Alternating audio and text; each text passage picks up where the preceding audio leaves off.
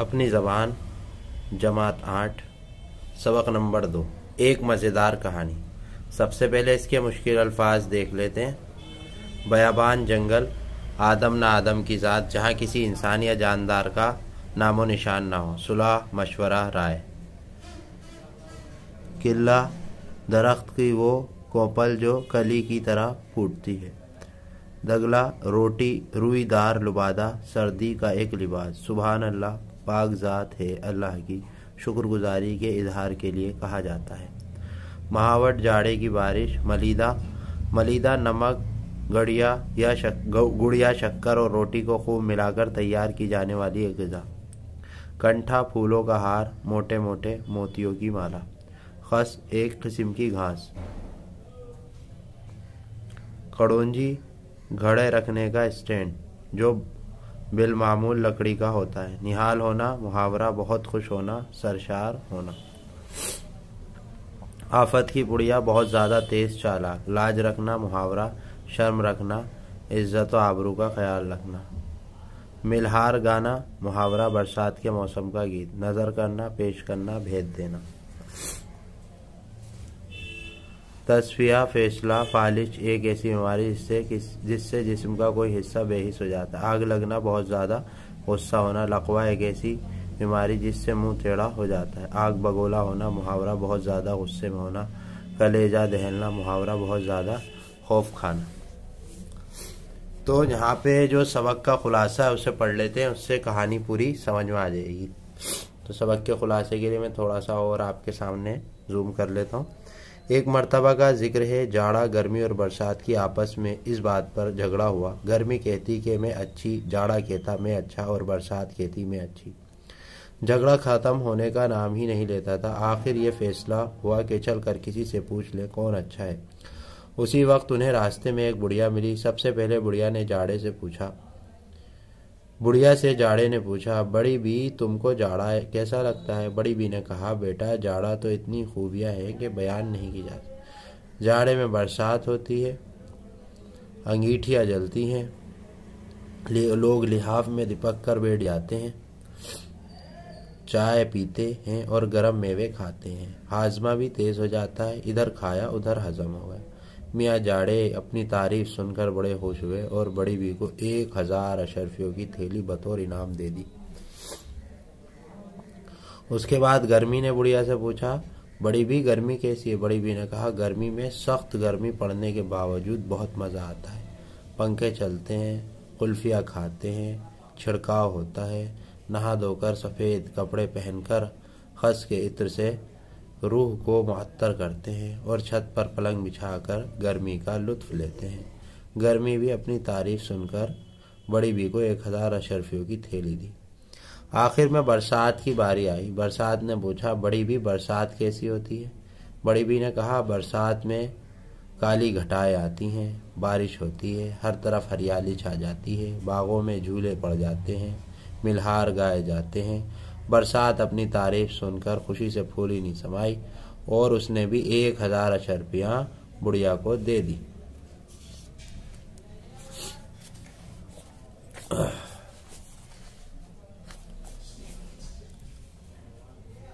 तीन हज़ार, अब इसके आगे जो बहुत इम्पोर्टेंट है, तीन हज़ार अशरपिया पाकर बड़ी भी की ज़िंदगी चहल पहल देखकर उनके पड़ोसन उनका राज पूछा।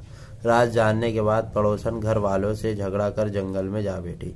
इत्तेफाक से तीनों मौसम फिर उसी एक दूसरे से मिले और बूढ़े बोले कि बुढ़िया बहुत होशियार थी, मुफ़्त में तीन हज़ार अशरफिया ले गई और फैसला कुछ न हुआ। तीनों को बहुत गुस्सा आया। आगे रास्ते में फिर एक बुढ़िया मिली। जाड़े ने बड़ी भी से पूछा, तुम्हें जाड़ा कैसा लगता है? बुढ़िया ने जाड़े की बुराइयाँ बयान करते हुए कहा जाड़े में तो किसी को पालिश किसी को लकवा, किसी को जुकाम हो जाता है। हर जगह ठंड, बर्फ़ मालूम होती है।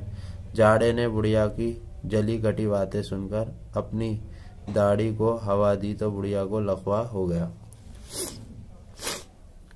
उसके बाद गर्मी ने बुढ़िया से इस बारे में पूछा कि मैं कैसी लगती हूँ। बुढ़िया ने कहा, गर्मी में तो बहुत पसीना आता है, कपड़ों से बदबू आती है, खाना हजम नहीं होता।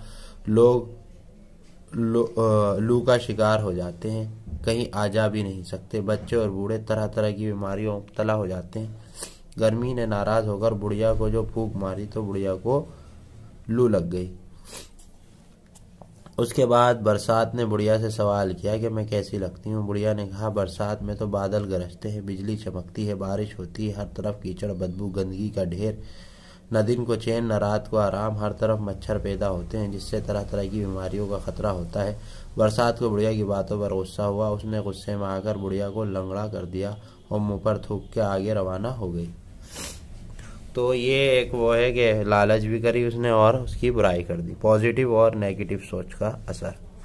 अब इसकी जो है तशरी इबारत यहाँ पे ये दे रखी है। ठीक है? और आप देख सकते हैं।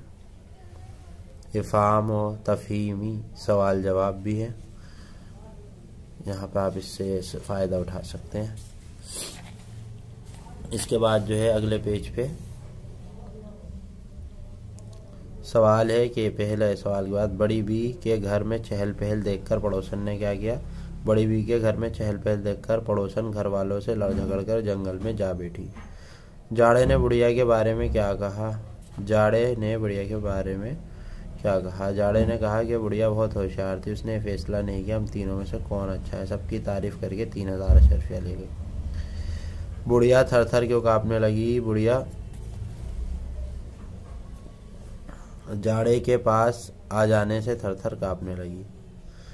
तस्फिया फैसला चहल पहल रौनक, आफत की बुढ़िया बहुत ज़्यादा तेज़ चला अब भाई इसके ये सवाल जवाब हैं। सवाल जवाब देख सकते हैं। जाड़े, गर्मी और बरसात में आपस में झगड़ा क्यों हुआ?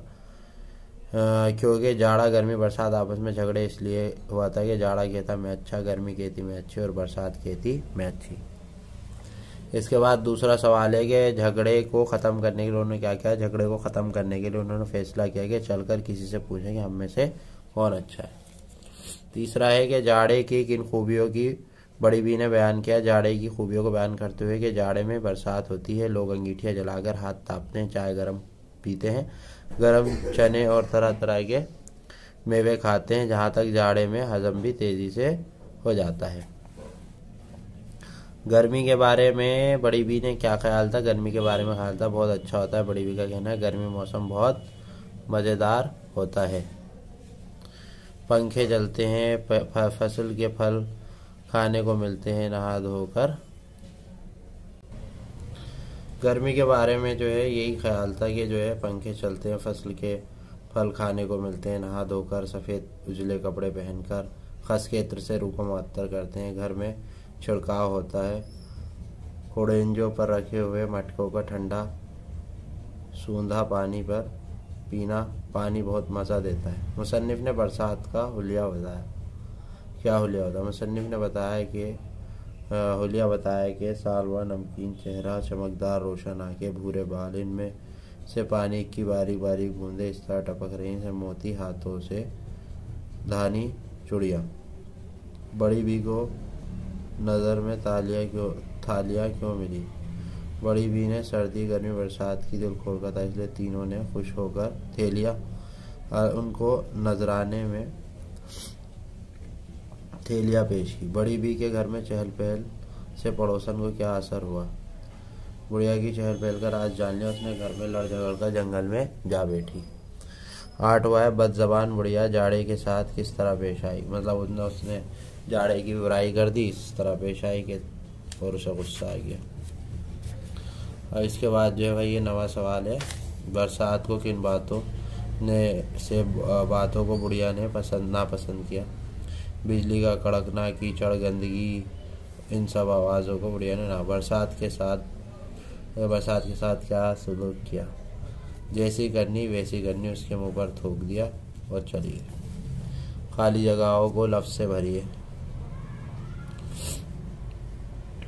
लफ्ज़ से भरना है इन खाली जगहों को। नीचे लिखे हुए लफ्ज़ों को अपने जुमलों में इस्तेमाल कीजिए।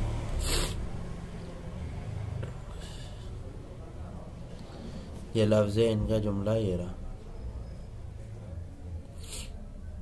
सलाह आपके लिए, सलाह मेरे लिए कारगर साबित हुई। और दूसरा ये, नीचे लिखे हुए वाहिद और जमा को अलग अलग करके लिखिए। तारीफ़ तारीफ़ है और वाहिद अशरफी, घटा, महावट, फैसला जमाए बच्चे कुल्फियाँ और चूड़ियाँ। मुहावरों को जुमलों में इस्तेमाल करना, मुहावरों को जुमलों में इस्तेमाल करिए यहाँ पे। ये दे रखे मुहावरे और इनको जुमलों में इस्तेमाल करना है।